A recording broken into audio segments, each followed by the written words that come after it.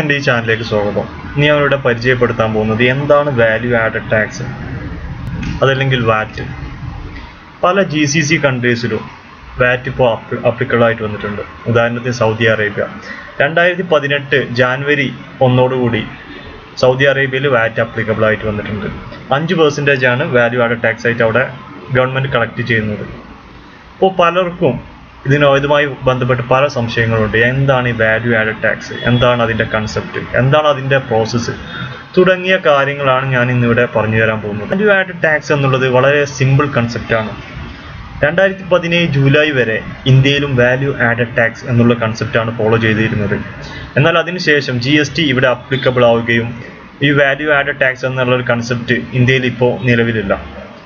എന്നാൽ നൂറ്റി അറുപതോളം രാജ്യങ്ങളിൽ ഇപ്പോഴും വാല്യൂ ആഡഡ് ടാക്സ് എന്നുള്ള കൺസെപ്റ്റിലാണ് അവർ ടാക്സ് കളക്ട് ചെയ്തുകൊണ്ടിരിക്കുന്നത് ഇന്ത്യയിൽ ഈ വാല്യൂ ആഡഡ് ടാക്സ് ഉണ്ടായിരുന്ന സമയത്ത് പല റേറ്റുകളിലായിരുന്നു ഈ വാല്യൂ ആഡഡ് ടാക്സ് കളക്ട് ചെയ്തിരുന്നത്.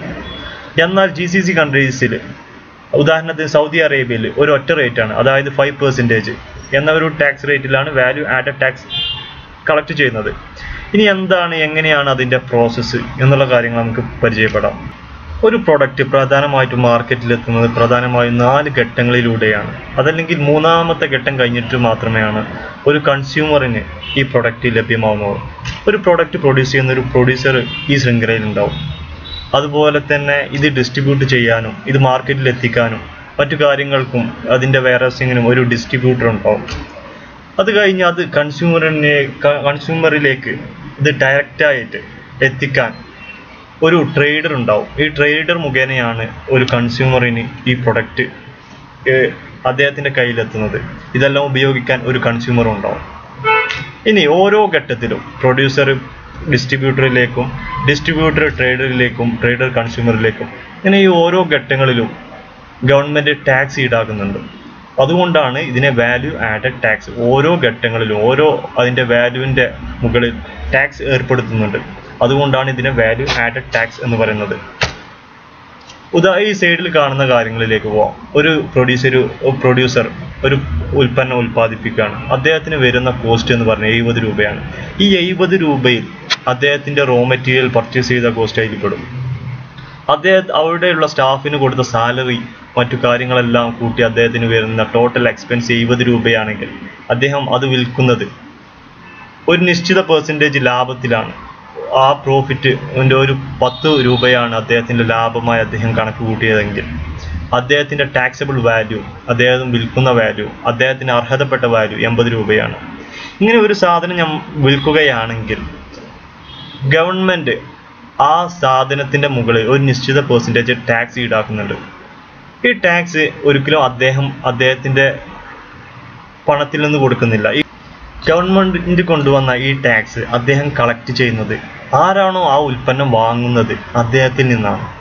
ഉദാഹരണത്തിന് ഇവിടെ നമുക്ക് കാണാം. എൺപത് രൂപയാണ് അദ്ദേഹത്തിന്റെ ടാക്സബിൾ വാല്യൂ അദ്ദേഹത്തിന്റെ ആ പ്രൊഡക്റ്റിന്റെ ഒരു വാല്യൂ ലാഭം എല്ലാം കൂട്ടിയിട്ട് അദ്ദേഹം അത് വിൽക്കാൻ ഉദ്ദേശിക്കുന്ന ഒരു വില എന്ന് പറയുന്നത് എൺപത് രൂപയാണ്.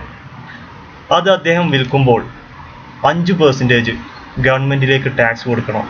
അപ്പോൾ അദ്ദേഹം ആ ബില്ല് റൈസ് ചെയ്യുമ്പോൾ അഞ്ച് പെർസെന്റേജ് ടാക്സ് അതിൽ കൂട്ടും. അതായത് എൺപത് രൂപ പ്ലസ് ഫൈവ് പെർസെന്റേജ് വാറ്റ് എന്ന് പറയാം എൺപത്തി എൺപത് രൂപയുടെ അഞ്ച് പെർസെന്റേജ് എന്ന് പറയുന്നത് നാല് രൂപ. എൺപത്തിനാല് രൂപയ്ക്കാണ് അദ്ദേഹം ആ സാധനം വിൽക്കുക. അദ്ദേഹത്തിന് ഈ എൺപത്തിനാല് രൂപ അദ്ദേഹത്തിന്റെ കയ്യിൽ കിട്ടുമ്പോൾ ഈ എൺപത്തിനാല് രൂപക്കും അദ്ദേഹം അർഹനല്ല. ഈ നാല് ഇനി അടുത്ത ഘട്ടത്തിലേക്ക് പോവാം. അദ്ദേഹം ആ പ്രൊഡക്റ്റ് എൺപത്തിനാല് രൂപക്ക് വിറ്റു. ഇത് വാങ്ങുന്ന ആൾ ഡിസ്ട്രിബ്യൂട്ടർ രണ്ടാമത്തെ സ്റ്റേജിൽ ഇത് വാങ്ങുന്ന ആൾ എന്ന് പറയുന്നത് ഡിസ്ട്രിബ്യൂട്ടറാണ് അദ്ദേഹം കൊടുത്ത എമൗണ്ട് എൺപത്തിനാല് രൂപയാണ്. ഇതിൽ നാല് രൂപ എന്ന് പറഞ്ഞ ടാക്സ് ആണ്. ശരിക്കും ആ പ്രൊഡക്റ്റിന്റെ ഒരു വാല്യൂ എന്ന് പറഞ്ഞാൽ എൺപത് രൂപയാണ്. ഈ നാല് രൂപ ടാക്സ് ഉള്ളത് മാറ്റി നിർത്തുക.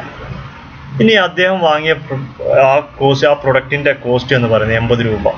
അദ്ദേഹത്തിന് ആ ആ സാധനം വാങ്ങുമ്പോൾ ഒരുപാട് ചിലവുകൾ അതല്ലെങ്കിൽ അവിടെ വെയർ ഹൗസും മറ്റു കാര്യങ്ങളും ഒരുപാട് ചിലവുകൾ വന്നു. അതിന്റെ കൂടെ ഒരു നിശ്ചിത പേഴ്സന്റേജ് പ്രോഫിറ്റും ആഡ് ചെയ്ത് അദ്ദേഹം അത് വീണ്ടും വിൽക്കാൻ ഉദ്ദേശിക്കുകയാണ്. അപ്പോൾ ഈ പ്രോഫിറ്റ് എന്ന് ഞാൻ ഇവിടെ പ്രോഫിറ്റ് എന്ന് മാത്രമേ കൊടുത്തിട്ടുള്ളൂ. അവിടെ പ്രോഫിറ്റ് പ്ലസ് അദ്ദേഹത്തിന്റെ കോസ്റ്റ് കൂട്ടിയാണ് അദ്ദേഹം പത്ത് രൂപ. അദ്ദേഹത്തിന്റെ ലാഭവും മറ്റു കോസ്റ്റ് ചെലവുകളെല്ലാം കൂട്ടി അദ്ദേഹം പത്ത് രൂപ കൂട്ടിയാണ് അദ്ദേഹം വിൽക്കുന്നത്. അങ്ങനെയാകുമ്പോൾ അതിന്റെ പ്രൈസ് എന്ന് പറയുന്നത് തൊണ്ണൂറ് രൂപക്കാണ് തൊണ്ണൂറ് രൂപയാണ്. ആ പ്രൊഡക്റ്റിന്റെ പ്രൈസ് ഇപ്പോൾ തൊണ്ണൂറ് രൂപയായി. ഇനി അദ്ദേഹം അഞ്ച് പെർസെന്റേജ് വിൽക്കുമ്പോൾ അഞ്ച് പെർസെന്റേജ് ഗവൺമെന്റിലേക്ക് അദ്ദേഹം കൊടുക്കണം. വീണ്ടും അഞ്ച് പെർസെന്റേജ് അദ്ദേഹം ടാക്സ് കൊടുക്കേണ്ടി വരുന്നതിനാലാണ് ഇതിനെ വാല്യൂ ആഡഡ് ടാക്സ് ആണ് എന്ന് പറയുന്നത്. കാരണം ഓരോ വാല്യൂ ആഡ് ചെയ്യുമ്പോഴും അതിന്റെ ടാക്സ് നമ്മൾ കൊടുക്കേണ്ടതായിട്ട് വരികയാണ്. ഇവിടെ അഞ്ച് പെർസെന്റേജ് നമ്മൾ ടാക്സ് കൊടുക്കേണ്ടതായി വരും. അങ്ങനെ തൊണ്ണൂറ് രൂപ ഇവിടെ അഞ്ച് പെർസെന്റേജ് എന്ന് പറയുന്നത് നാല് പോയിന്റ് അഞ്ച്. അങ്ങനെ ആ ഉൽപ്പന്നം നമ്മൾ വിൽക്കുന്നത് തൊണ്ണൂറ്റിനാല് രൂപ അൻപത് പൈസക്കാണ് പിന്നെ ആ ഉൽപ്പന്നം നമ്മൾ വിൽക്കുന്നത്. അത് അത് വിൽക്കുമ്പോൾ ഇവിടെ ഉള്ളൊരു കാര്യം എന്ന് വെച്ചാൽ ആദ്യം അയാൾ നാല് രൂപ ടാക്സ് അയാൾ സാധനം പർച്ചേസ് ചെയ്തപ്പം കൊടുത്തു. ഇപ്പോൾ അയാൾ വിറ്റപ്പോൾ നാല് രൂപ വീണ്ടും അയാൾ ഗവൺമെന്റിലേക്ക് ടാക്സ് കൊടുക്കാം. ഇങ്ങനെ ഒരു കേസ് ഇത് ഡബിൾ ടാക്സാക്ഷൻ എന്ന് ഒരു കേസ് ഇവിടെ വരും. അത് ഒഴിവാക്കുവാൻ വേണ്ടി. ഇവിടെ ആക്ച്വലി ഇനി അദ്ദേഹം വിൽക്കുമ്പോൾ അദ്ദേഹം നാലര രൂപ ടാക്സ് കൊടുക്കണ്ട. കാരണം ഇവിടെ ആദ്യം നാല് രൂപ നമ്മൾ ടാക്സ് കൊടുത്തു കഴിഞ്ഞു. ഇനി ഇപ്പോൾ കൊടുക്കാനുള്ളത് നാലര രൂപയാണ്. അതിൽ നാല് രൂപ ഓൾറെഡി കൊടുത്തു. ഇനി അതിന്റെ ബാലൻസ് വരുന്നത് അൻപത് പൈസ മാത്രമേ ഉള്ളൂ നമുക്ക് ടാക്സ് കൊടുക്കാനുള്ളത്. ഇപ്പം ഈ അൻപത് പൈസ മാത്രം ടാക്സ് കൊടുത്താൽ മതി. അതിനുശേഷം ഈ പ്രൊഡക്റ്റ് ട്രേഡർക്ക് വിൽക്കുകയാണ്. ഈ പ്രൊഡക്റ്റ് ട്രേഡർക്ക് വിൽക്കുന്നത് തൊണ്ണൂറ്റിനാല് രൂപ അൻപത് പൈസക്കാണ്. അതിലെ ടാക്സിന്റെ പോർഷൻ മാറ്റി വെക്കുക. ടാക്സിന്റെ മാറ്റി വെച്ചാൽ തൊണ്ണൂറ് രൂപക്കാണ് അദ്ദേഹത്തിന്റെ കോസ്റ്റ് ആയിട്ട് ആ ട്രേഡർ കോസ്റ്റ് ആയിട്ട് വരുന്നത് തൊണ്ണൂറ് രൂപ. അദ്ദേഹത്തിന്റെ പ്രോഫിറ്റും അതുപോലെ തന്നെ അദ്ദേഹത്തിന്റെ മറ്റു എക്സ്പെൻസുകളെല്ലാം കൂടി അദ്ദേഹം അതിലേക്ക് ആഡ് ചെയ്യുന്ന എമൗണ്ട് ആണ് പത്ത് രൂപ. അതിന്റെ ആയിട്ട് അദ്ദേഹം അത് വിൽക്കാൻ ഉദ്ദേശിക്കുന്നത് നൂറ് രൂപക്കാണ്. അവിടെ ആ നൂറ് രൂപയുടെ അഞ്ച് പെർസെന്റേജ് ഗവൺമെന്റിലേക്ക് വീണ്ടും അദ്ദേഹം വാല്യൂ ആഡഡ് ടാക്സ് കൊടുക്കേണ്ടതായിട്ട് വരും. അങ്ങനെ അദ്ദേഹം നൂറ്റഞ്ച് രൂപക്കാണ് പിന്നീട് ആ പ്രൊഡക്റ്റ് ഒരു കൺസ്യൂമറിലേക്ക് വിൽക്കുന്നത്. ഈ നൂറ്റഞ്ച് രൂപയിൽ അഞ്ച് രൂപ എന്ന് പറഞ്ഞത് അദ്ദേഹത്തിന്റെ ബാധ്യതയാണ്. അദ്ദേഹം അത് ഗവൺമെന്റിലേക്ക് കൊടുക്കേണ്ട വാല്യൂ ആഡഡ് ടാക്സ് ആണ്. എന്നാൽ കൂടി ഇവിടെ അദ്ദേഹം ഈ ട്രേഡർ പർച്ചേസ് ചെയ്തപ്പോൾ നാല് പോയിന്റ് അഞ്ച് രൂപ അദ്ദേഹം ഓൾറെഡി കൊടുത്തിട്ടുണ്ട്. മുകളിൽ കാണാം. നാല് അദ്ദേഹം ഡിസ്ട്രിബ്യൂട്ടറെ കയ്യിൽ നിന്ന് ആ പ്രൊഡക്റ്റ് വാങ്ങിയപ്പോൾ നാല് പോയിന്റ് അഞ്ച് രൂപ. അദ്ദേഹം ഓൾറെഡി അതിന്റെ വാല്യൂ ആഡ് ടാക്സ് കൊടുത്തു. ആ എമൗണ്ട് ഗവൺമെന്റിലേക്ക് കൊടുക്കാൻ ബാധ്യസ്ഥനായ വ്യക്തി ഡിസ്ട്രിബ്യൂട്ടറാണ് എന്നാൽ ഇദ്ദേഹത്തിന്റെ ബാധ്യതയല്ല. ഈ ട്രേഡറെ സംബന്ധിച്ചിടത്തോളം നാല് പോയിന്റ് അഞ്ച് രൂപ അദ്ദേഹം ഓൾറെഡി കൊടുത്തു കഴിഞ്ഞിട്ടുണ്ട്. ഇനി ബാക്കി എത്ര രൂപയാണ് അദ്ദേഹം കൊടുക്കാൻ ബാക്കിയുള്ളത്? അഞ്ച് രൂപയാണ് അദ്ദേഹത്തിന്റെ വാല്യൂ ആഡ് ടാക്സ് ഈ അഞ്ച് രൂപയിൽ നിന്ന് നാലര രൂപ ആദ്യം അദ്ദേഹം പർച്ചേസ് ചെയ്തപ്പോൾ ടാക്സ് കൊടുത്തിട്ടുണ്ട്. ഈ അഞ്ചിൽ നിന്ന് നാല് പോയിന്റ് അഞ്ച് കുറച്ചു കഴിഞ്ഞാൽ ബാക്കി വരുന്ന പോയിന്റ് അഞ്ച് രൂപ. അതായത് അമ്പത് പൈസയെ അദ്ദേഹം ഇവിടെ ഗവൺമെന്റിലേക്ക് കൊടുക്കാൻ ബാധ്യസ്ഥനായിട്ട് വരുന്നുള്ളൂ. വാല്യൂ ആഡഡ് ടാക്സ് എന്ന് പറഞ്ഞത് ഇത്രയേ ഉള്ളൂ. എന്നാൽ കൂടി ഒന്നും കൂടി ഇതെല്ലാം വളരെ വ്യക്തമായി ഒന്നും കൂടി ഞാൻ നിങ്ങൾക്ക് പറഞ്ഞു തരാം. അതായത് നാല് ഘട്ടങ്ങളിലായിട്ട് ഒരു പ്രൊഡ്യൂസർ ഒരു പ്രൊഡക്റ്റ് പ്രൊഡ്യൂസ് ചെയ്യുന്നു. അത് കൺസ്യൂമറിലേക്ക് എത്തുന്നത് വരെ നാല് ഘട്ടങ്ങൾ. ഒന്ന് അദ്ദേഹം ഉൽപാദനം അത് അത് ഡിസ്ട്രിബ്യൂട്ട് ചെയ്യുന്നു അത് ട്രേഡിലേക്ക് എത്തുന്നു അത് കൺസ്യൂമറിലേക്ക് എത്തുന്നു. ഇവിടെ അദ്ദേഹം അത് വിൽക്കുന്ന കാര്യങ്ങൾ. അദ്ദേഹം എൺപത് രൂപക്കാണ് ആ പ്രൊഡക്റ്റ് വിൽക്കാൻ ഉദ്ദേശിക്കുന്നത്. അതിലൂടെ അദ്ദേഹം നാല് രൂപ ടാക്സ് അടക്കം എൺപത്തിനാല് രൂപക്ക് അത് വിൽക്കുന്നു. ആ ഡിസ്ട്രിബ്യൂട്ടർ അതിലേക്ക് പത്ത് രൂപ അദ്ദേഹത്തിന്റെ ചെലവും മറ്റു അദ്ദേഹത്തിന്റെ ലാഭവും പ്രോഫിറ്റും കൂട്ടി തൊണ്ണൂറ് രൂപക്ക് അത് വിൽക്കാൻ ഉദ്ദേശിക്കുന്നു. അതിലേക്ക് അദ്ദേഹം വാറ്റ് ആയിട്ട് അഞ്ച് രൂപ വാല്യൂ ആഡ് ടാക്സ് ആഡ് ചെയ്ത് ബില്ല് ചെയ്യുന്നു. അങ്ങനെ തൊണ്ണൂറ്റിനാല് രൂപ അൻപത് പൈസക്ക് അത് അദ്ദേഹം ട്രേഡറിലേക്ക് വിൽക്കുന്നു. അതിൽ തൊണ്ണൂറ് രൂപയാണ് അദ്ദേഹം ഈ നാല് രൂപ അൻപത് പൈസ അദ്ദേഹം ടാക്സ് ഗവൺമെന്റിൽ കൊടുക്കാൻ വേണ്ടി ട്രേഡറിൽ നിന്നും അദ്ദേഹം കളക്ട് ചെയ്യുന്നു. അങ്ങനെ ഈ ട്രേഡർ ആ പ്രൊഡക്റ്റ് വാങ്ങുന്ന തൊണ്ണൂറ്റിനാല് രൂപ അൻപത് പൈസക്ക്. അദ്ദേഹം തൊണ്ണൂറ് രൂപയാണ് അദ്ദേഹത്തിന് കോസ്റ്റ് ആയിട്ട് വന്നത്. മറ്റേ ടാക്സ് ആയിട്ടാണ് ഈ ട്രേഡർക്ക് വന്നത്. ടാക്സിന്റെ പോർഷൻ മാറ്റി നിർത്തിയാൽ തൊണ്ണൂറ് രൂപയാണ് അദ്ദേഹം കോസ്റ്റ് ആയിട്ട് വന്നത്. അതിലേക്ക് അദ്ദേഹത്തിന്റെ എക്സ്പെൻസും അദ്ദേഹത്തിന്റെ ലാഭവും കൂട്ടി അദ്ദേഹം അത് വിൽക്കാൻ ഉദ്ദേശിക്കുന്നത് നൂറ് രൂപക്കാണെന്ന് വിചാരിക്കാം. നൂറ് രൂപയ്ക്ക് അദ്ദേഹം വാല്യൂ ടാക്സ് ആയിട്ട് അഞ്ച് പെർസെന്റേജ് കൺസ്യൂമറിൽ നിന്നും ഈടാക്കുന്നു. അങ്ങനെ നൂറ്റഞ്ച് രൂപക്ക് ആണ് ഈ പ്രൊഡക്റ്റ് അൾട്ടിമേറ്റ് കൺസ്യൂമറിലേക്ക് എത്തുക. അങ്ങനെ ടോട്ടൽ ഗവൺമെന്റിന് എത്ര രൂപ ഒരു എൺപത് രൂപയുടെ പ്രൊഡക്റ്റിന് എത്ര രൂപ ഗവൺമെന്റിലേക്ക് വരും എന്ന് നമുക്ക് നോക്കാം. ആദ്യമായിട്ട് പ്രൊഡ്യൂസർ പ്രൊഡ്യൂസറാണ് ഈ പ്രൊഡക്റ്റ് ഡിസ്ട്രിബ്യൂട്ടറിലേക്ക് എത്തിക്കുന്നത്. പ്രൊഡ്യൂസറിന് എഴുപത് രൂപയാണ് ഇതിന്റെ കോസ്റ്റ് വരുന്നത്. അദ്ദേഹത്തിന്റെ പ്രോഫിറ്റും മറ്റു കാര്യങ്ങളും കൂട്ടി പത്ത് രൂപ ആഡ് ചെയ്യുന്നു.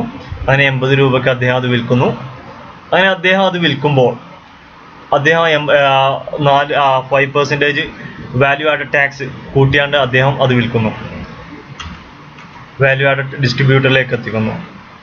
അങ്ങനെ ഈ നാല് രൂപ ഡിസ്ട്രിബ്യൂട്ടർ ഡിസ്ട്രിബ്യൂട്ടർ എൺപത്തി നാല് രൂപക്കാണ് ഈ പ്രൊഡക്റ്റ് വാങ്ങുന്നത്. ശരിക്കും എൺപത് രൂപയുടെ പ്രൊഡക്റ്റിന് അദ്ദേഹം എൺപത്തിനാല് രൂപ കൊടുത്തു.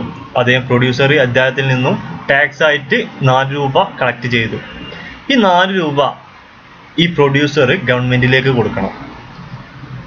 ആ നാല് രൂപ ഗവൺമെന്റിലേക്ക് കൊടുത്ത്. ഇപ്പം ഗവൺമെന്റിന് നാല് ഒരു എൺപത് രൂപയുടെ പ്രൊഡക്റ്റ് ഗവൺമെന്റിലേക്ക് ഗവൺമെന്റിലേക്ക് ടാക്സ് ആയിട്ട് ആദ്യം നാല് രൂപ എത്തി അതിന്റെ ഫൈവ് പെർസെന്റേജ് പിന്നെ ഈ ഡിസ്ട്രിബ്യൂട്ടർ ഡിസ്ട്രിബ്യൂട്ടർ ആ അതേ പ്രൊഡക്റ്റ് അത് ട്രേഡർക്ക് വിൽക്കുകയാണ് അദ്ദേഹം ഹോൾസെയിൽ ആയിട്ടാണ് ആ പ്രൊഡക്റ്റ് വാങ്ങിയത്. അദ്ദേഹം അത് റീറ്റെയിൽ ട്രേഡേഴ്സിന് വിൽക്കുകയാണ് അദ്ദേഹം അതിന്റെ കൂടെ ഒരു പത്ത് രൂപ അദ്ദേഹത്തിന്റെ ചെലവും അദ്ദേഹത്തിന്റെ ലാഭവും കൂട്ടി പത്ത് രൂപ അദ്ദേഹം ആ ആ എൺപത് രൂപ കോസ്റ്റ് വന്ന ആ പ്രൊഡക്റ്റിലേക്ക് ഒരു പത്ത് രൂപ കൂട്ടി അദ്ദേഹം അത് ട്രേഡറിലേക്ക് വിൽക്കുന്നു.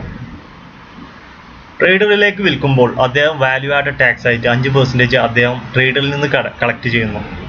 എന്നാൽ ഇവിടെ അദ്ദേഹം ഗവൺമെന്റിന് ഈ നാല് രൂപ അൻപത് പൈസ കൊടുക്കുന്നില്ല.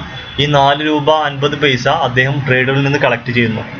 അതുപോലെ ഇത് ഈ- പ്രൊഡക്റ്റ് അദ്ദേഹം പ്രൊഡ്യൂസറിൽ നിന്ന് വാങ്ങിയപ്പോൾ നാല് രൂപ അദ്ദേഹം ടാക്സ് ഓൾറെഡി കൊടുത്തിട്ടുണ്ട്. ഈ നാല് രൂപ ഗവൺമെന്റിലേക്ക് എത്തിയിട്ടുമുണ്ട് അപ്പോൾ ഇനി അദ്ദേഹം ഗവൺമെന്റിലേക്ക് കൊടുക്കേണ്ടത് എന്ന് വെച്ചാൽ ഈ നാല് രൂപ അൻപത് പൈസ അതിൽ നിന്ന് ഈ നാല് രൂപ കുറച്ച എമൗണ്ട് അതായത് പോയിന്റ് അഞ്ച് രൂപ പോയിന്റ് അഞ്ച് അതായത് അമ്പത് പൈസ മാത്രമാണ് അദ്ദേഹം ഗവൺമെന്റിലേക്ക് കൊടുക്കാൻ ബാധ്യസ്ഥനായിട്ടുള്ളത്. അടുത്ത ഘട്ടം എന്ന് പറയുന്നത് ട്രേഡർ ഈ പ്രൊഡക്റ്റ് വിൽക്കുകയാണ്. കൺസ്യൂമറിലേക്ക് വിൽക്കുകയാണ്. അദ്ദേഹം നൂറ് രൂപക്കാണ് അത് വിൽക്കാൻ ഉദ്ദേശിക്കുന്നത്. അതിന്റെ കൂടെ അദ്ദേഹം കൺസ്യൂമറെ അടുത്ത് നിന്ന് നൂറ്റഞ്ച് രൂപ അഞ്ച് രൂപ ടാക്സ് അദ്ദേഹം കളക്ട് ചെയ്തു. എന്നിട്ട് അദ്ദേഹം അത് അത് ടാക്സ് അദ്ദേഹം ഈ ട്രേഡർ കൊടുക്കേണ്ട ടാക്സ് എത്രയാന്ന് വെച്ചാൽ ഈ അഞ്ച് രൂപ മൈനസ് നാല് രൂപ അൻപത് പൈസ ടാക്സ് അദ്ദേഹം കളക്ട് ചെയ്ത അഞ്ച് രൂപ ടാക്സ് ആയിട്ട് അദ്ദേഹം കൺസ്യൂമറിന്റെ കയ്യിൽ നിന്ന് കളക്ട് ചെയ്തു. എന്നാൽ അദ്ദേഹം ആൾറെഡി നാല് രൂപ അൻപത് പൈസ ഡിസ്ട്രിബ്യൂട്ടറിലേക്ക് ടാക്സ് എന്ന എമൗണ്ട് കൊടുത്തിട്ടുണ്ട്. അതുകൊണ്ട് തന്നെ ഇവിടെ ഇദ്ദേഹം കൊടുക്കാൻ ബാധ്യസ്ഥന ബാധ്യത ഇദ്ദേഹത്തിന് വരുന്നത് അമ്പത് പൈസ മാത്രമേ ഉള്ളൂ. അത് അദ്ദേഹം കൊടുക്കുന്നു. അങ്ങനെ ഗവൺമെന്റ് ഓരോ ഘട്ടങ്ങളിലും വാല്യൂ ആഡഡ് ടാക്സ് ആയി അഞ്ച് അഞ്ച് പെർസെന്റേജ് കളക്ട് ചെയ്യുന്നു. പ്രൊഡ്യൂസർ എൺപത് രൂപയാണ് അദ്ദേഹത്തിന്റെ കോസ്റ്റായി നിശ്ചയിച്ചത്. അതിന്റെ അഞ്ച് പെർസെന്റേജ് അദ്ദേഹം ഡിസ്ട്രിബ്യൂട്ടറുടെ കയ്യിൽ നിന്ന് വാങ്ങുകയും അത് ഗവൺമെന്റിലേക്ക് കൊടുക്കുകയും ചെയ്തു. അതുപോലെ ഓരോ ഘട്ടങ്ങളിലും ഡിസ്ട്രിബ്യൂട്ടർ ട്രേഡറിലേക്ക് വിറ്റപ്പോൾ അങ്ങനെ ട്രേഡർ കൺസ്യൂമറിലേക്ക് വിറ്റപ്പോൾ അങ്ങനെ ഓരോ ഘട്ടങ്ങളിലും അതിന്റെ വാല്യൂടെ കൂടെ അഞ്ച് പെർസെന്റേജ് ടാക്സ് കളക്ട് ചെയ്തു. ഇവിടെ മറ്റൊരു കാര്യം എന്ന് പറഞ്ഞാൽ ഇത് നമ്മൾ കാൽക്കുലേറ്റ് ചെയ്തത് ഈ ടാക്സിൽ നിന്ന് കുറച്ചാണ്. മറ്റൊരു രീതിയിൽ ഡിസ്ട്രിബ്യൂട്ടർ എത്ര രൂപയാണോ അദ്ദേഹത്തിന്റെ കോസ്റ്റും പ്രോഫിറ്റും കൂട്ടിയത്? അദ്ദേഹം പത്ത് രൂപയാണ് ഓരോ ഘട്ടത്തിൽ കൂട്ടിയത്. ഈ കൂട്ടുന്ന ആഡ് ചെയ്യുന്ന വാല്യൂവിന്റെ ഫൈവ് പെർസെന്റേജ് അതായത് ഡിസ്ട്രിബ്യൂട്ടർ അദ്ദേഹത്തിന്റെ കോസ്റ്റും പ്ലസ് പ്രോഫിറ്റ് ആയിട്ട് ഓരോ ഘട്ടങ്ങളിൽ കൂട്ടിയത് ട്രേഡർക്ക് വിറ്റപ്പോൾ അദ്ദേഹം കൂട്ടിയത് പത്ത് രൂപയാണ്. അതിന്റെ അഞ്ച് പെർസെന്റേജ് എന്ന് പറഞ്ഞത് അമ്പത് പൈസയാണ്. അത് അവിടെ അദ്ദേഹം ഗവൺമെന്റിലേക്ക് കൊടുക്കാൻ ബാധ്യസ്ഥനാവുന്നു. അതുപോലെ ഈ പ്രൊഡക്റ്റ് ട്രേഡർ കൺസ്യൂമറിലേക്ക് വിറ്റപ്പോൾ അദ്ദേഹം അതിന്റെ കോസ്റ്റ് അദ്ദേഹത്തിന് അദ്ദേഹം വാങ്ങിയ എമൗണ്ടിന് പുറമെ അദ്ദേഹം അതിന്റെ അദ്ദേഹത്തിന് വന്ന ചെലവും അദ്ദേഹത്തിന്റെ ലാഭവുമായി അദ്ദേഹം കൂട്ടിയത് പത്ത് രൂപയാണ്. അതുകൊണ്ട് തന്നെ ഈ പത്ത് രൂപയുടെ അഞ്ച് പെർസെന്റേജ് അദ്ദേഹം ഗവൺമെന്റിലേക്ക് കൊടുക്കാൻ ബാധ്യസ്ഥനാണ്. ഈ ഒരു കാര്യം കൊണ്ട് തന്നെയാണ് ഇതിനെ വാല്യൂ ആഡഡ് ടാക്സ് ഓരോ വാല്യൂ ആഡ് ചെയ്യുമ്പോഴും ഓരോ ഘട്ടങ്ങളിലും ഓരോ വാല്യൂ ആഡ് ചെയ്യുമ്പോഴും അതിന്റെ വാല്യൂ ആഡഡ് ടാക്സ് ആയി അഞ്ച് പെർസെന്റേജ് ഗവൺമെന്റ് നിശ്ചയിച്ചിരിക്കുന്നു അത് ഗവൺമെന്റിലേക്ക് കിട്ടുന്നു. ഇവിടെ ഒരു കാര്യം വ്യക്തമാണ്. ഈ ഗവൺമെന്റ് ഇൻട്രൊഡ്യൂസ് ചെയ്ത ഈ ടാക്സ് ബാധിക്കുന്നത് ഒരു ബിസിനസ്സിനെയല്ല ഈ ടാക്സ് ബാധിക്കുന്നത് ഉപഭോക്താവിനെയാണ് അതായത് കൺസ്യൂമറെയാണ് കാരണം ഓരോ ഘട്ടത്തിലും അതായത് പ്രൊഡ്യൂസർ ഒരു പ്രൊഡക്റ്റ് ഡിസ്ട്രിബ്യൂട്ടറിലേക്ക് വിൽക്കുമ്പോൾ ഈ പ്രൊഡ്യൂസർ ആ ടാക്സിന്റെ എമൗണ്ട് കളക്ട് ചെയ്യുന്നത് ഡിസ്ട്രിബ്യൂട്ടറുടെ കയ്യിൽ നിന്നാണ്. ഈ ഡിസ്ട്രിബ്യൂട്ടർ ഇത് ട്രേഡറിലേക്ക് വിൽക്കുമ്പോൾ ഡിസ്ട്രിബ്യൂട്ടർ ഈ ടാക്സ് കളക്ട് ചെയ്യുന്നത് ട്രേഡറുടെ കയ്യിൽ നിന്നാണ്. അവസാനമായി ഈ ട്രേഡർ കൺസ്യൂമറിലേക്ക് വിൽക്കുമ്പോൾ ഈ ടാക്സ് ട്രേഡർ കൺസ്യൂമറുടെ കയ്യിൽ നിന്നാണ് കളക്ട് ചെയ്യുന്നത്. അതുകൊണ്ട് ഇതൊരിക്കലും ബിസിനസ്സിനെ അല്ല ബാധിക്കുന്നത്. ഒരു കൺസ്യൂമറെയാണ് ഈ ടാക്സ് ബാധിക്കുന്നത്. ഇനി നിങ്ങൾക്കുണ്ടാവുന്ന സംശയമായിരിക്കും എങ്ങനെയാണ് ഇത് ടാലിയിൽ അക്കൗണ്ട് ചെയ്യുക തുടങ്ങിയ കാര്യങ്ങൾ അത് ഞാനൊരു മറ്റൊരു വീഡിയോയിൽ നിങ്ങൾക്ക് വ്യക്തമാക്കി തരുന്നതാണ്.